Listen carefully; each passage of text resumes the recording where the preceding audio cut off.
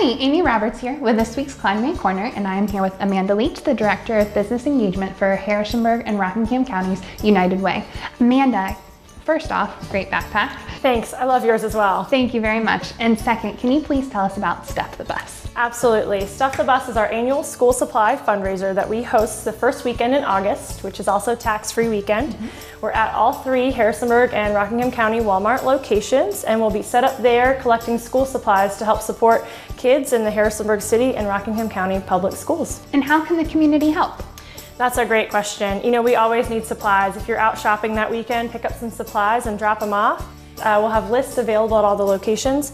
We also always need volunteers, especially at the Dayton and Timberville Walmart locations. Check out the website on the screen for those opportunities. This year, one thing that we're doing that's new is giving out stickers. Aimee, do you want to talk a little bit more about that? I would love to. So the sticker is basically your free admission into the Harrisonburg Rockingham Association of Realtors Touch-A-Truck event. And if you don't grab a sticker, please bring a school supply and we'll make sure that it gets back to the United Way. The event is on Thursday, August 10th from 4 to 6 p.m. outside of the Valley Mall. And there'll be all sorts of different trucks for the kids to touch, play around with.